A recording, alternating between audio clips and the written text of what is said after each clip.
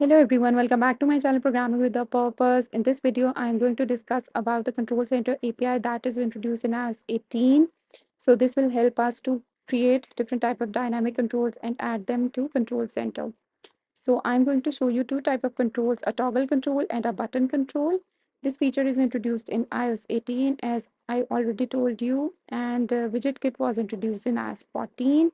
So it is pretty close to the implementation of WidgetKit with some slight changes that I'm going to show you here. So uh, we have two type of controls here. I am incrementing the number of glasses of water that I have taken in a day. So this is how you can add different type of controls. So now let's start with the coding. So first let's create a simple app with any name you want to give it. I am adding here a Explore Control Center app. So after that, we are going to add another target to it. This is one of the target that is added to it. You can see on the right hand side, there are only one target here inside your Xcode. So here I'll be searching about WidgetKit and I'm going to give it a product name. So I'm giving here a flash control. It is not actually controlling the flashlight of my device, but just showing you how to create a control. So here uh, there are two type of controls. There is some dummy code that is added previously. You can basically comment out that code and start writing your own code. I'm going to edit the code inside the file flash control control. So this is a code that we are going to edit. You have seen here there is a kind string which is going to help you to access this uh, target. So you can add here a bundle identifier dot your extension which is flash control.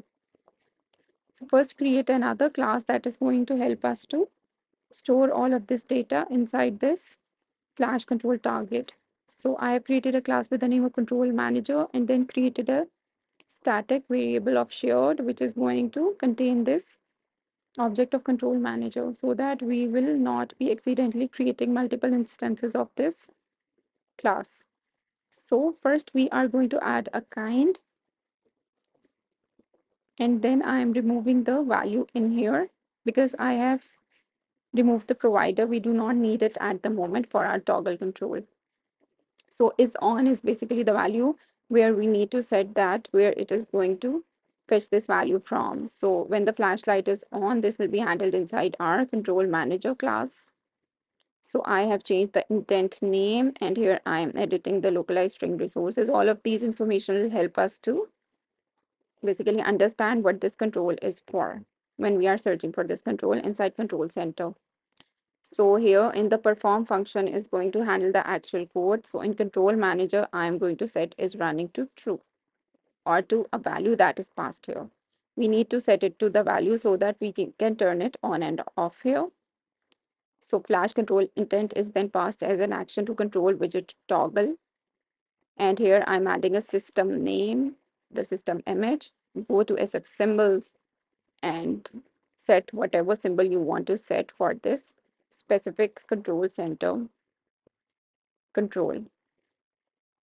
So I'm setting here the flashlight on dot fill.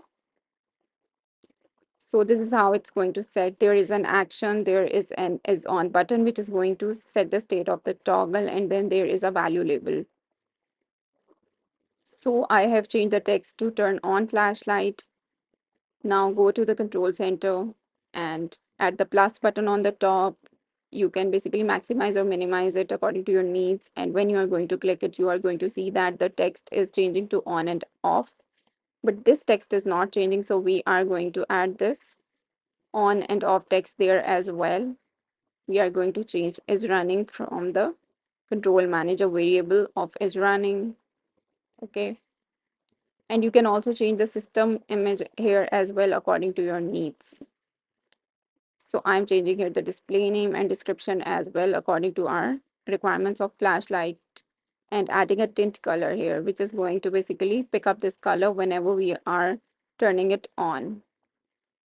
So again, follow the same steps to add the control inside the control center. So when you are clicking it, you have seen that flashlight is turning green.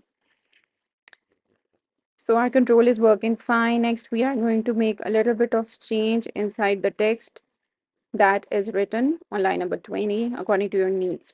So basically, if it is on, we need to basically change the text to off so that we can turn it off. And same depends on the system image that how you want to set. If you want to show the state, then the image will correspond to is running state. Otherwise, it will be the opposite of is running. So depending upon your needs, you can simply add the image, the text, as well as the label state.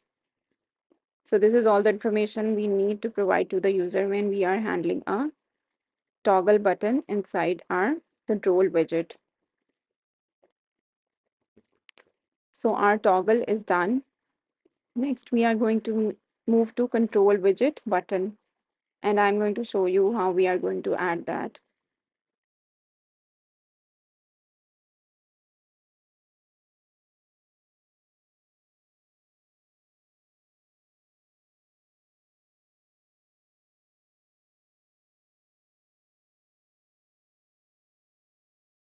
So let's record our water intake in a day with a variable inside our control manager. And then we are going to basically create the button and add it with that variable so that whenever we are going to click on the button, another glass of water is added to our water intake for a day. So here I'm showing you how we can add a control widget button here. So in the action, we are going to write another intent and in the label that is going to return us some view. So we are going to create a view. We are going to set a text as well as an image for our control widget button. So follow all of these steps to create a control widget button with me. You have seen here that I have commented all of the code except the static control configuration, which is specifying the kind so here I'm adding a text that is fetching the value from control manager, glasses of water variable. And then an image, which I'm going to fetch from SF symbols. So let's find an appropriate image according to our needs. To remove the error temporarily, I'm adding here a flash control intent in the action, which we are going to change once we write the specific intent for our water intake record. So here I'm specifying the image and then I'm adding a tint here. Tint is not workable for this button, so there is no need to add it here. I've tried it with different type of codes, but it's not working for now.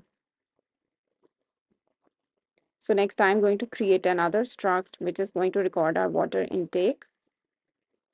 It is an intent, which is extending our app intent. All of the rest of the values would be same apart from some init methods and the variable value that we are going to change to count, which is going to record the number of glasses that we have taken so far in a day.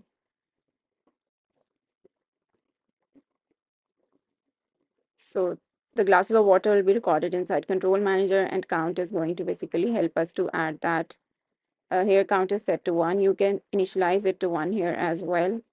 But there would be certain cases where you need to pass the parameter value. So I'm showing you here that how you're going to pass a parameter value of one every time we click on this control widget button.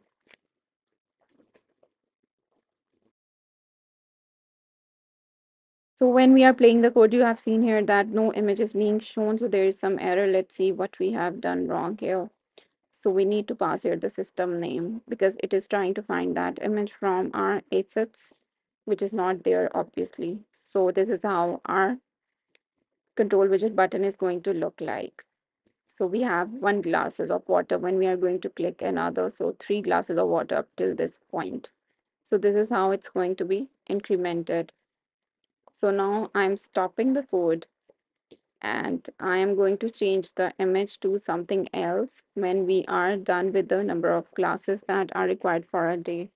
For example, if the number of glasses are greater than five, we need to change the system name image. It is a simple inline if else you can add here.